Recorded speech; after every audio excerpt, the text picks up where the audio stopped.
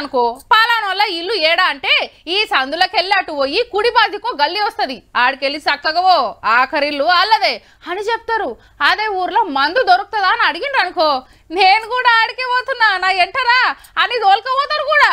Belt shop ఉంటే ఊరు మస్తు డెవలప్ అయినట్టు కనబడుతుంది మరి. అయితే జగిత్యాల ఆప్కారోళ్ళకు జేజేలు కొట్టాల్సిందేనబ్బా. హౌ మరి కోటప్పరావుపేట బెల్ట్ షాప్ లా రెండు కాటన్ల బీలరు పట్టుకున్నారు. మాల్ బండ్ల పెట్టుకోగానే చుట్టుముట్టోళ్ళు అంతురుకొచ్చిర్రు అట్లెట్లా తీసుకుపోతారా అని ఈ అన్న బీఆర్ఎస్ ఎంపీటీస్ అట ఇక కానుండి ఎట్లా మాట్లాడిండో ఇనుండ్రి. బెల్ట్ షాపులు మొత్తం ప్రతి షాప్కు అన్ని తీసుకోండి మొత్తం బెల్ట్ షాప్తో చెప్పి.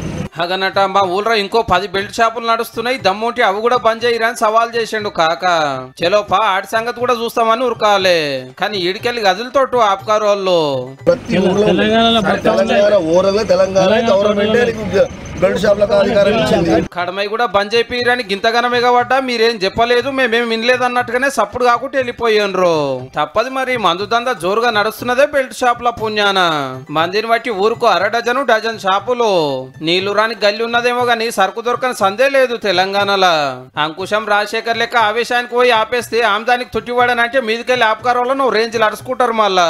మొన్ననే ఆర్టీఐ కింద దరఖాస్తు పెడితే చెప్పిరి తెలంగాణ మొత్తంలో ఒక్కటంటే ఒక్క బెల్ట్ షాప్ కూడా లేదా అని ఆ మాట కాపాడుకోవాలి కదా. మరి డ్యూటీలు ఏం చేయాలంటే పక్క రాష్ట్రాలకి వెళ్ళి రాకుండా మనోళ్ళంతా మన మందే తాగేటట్టు చూడాలి. అది బార్ అయినా ఓకే బెల్ట్ షాప్ అయినా ఓకే. తాగిందే లెక్క పైకం వచ్చిందే లెక్క.